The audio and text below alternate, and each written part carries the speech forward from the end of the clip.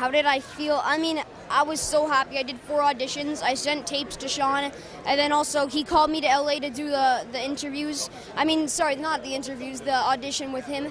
And then he liked that so much, he flew Hugh in with me, and then I did the audition with him. So they told me I got and I was so happy. I couldn't believe it.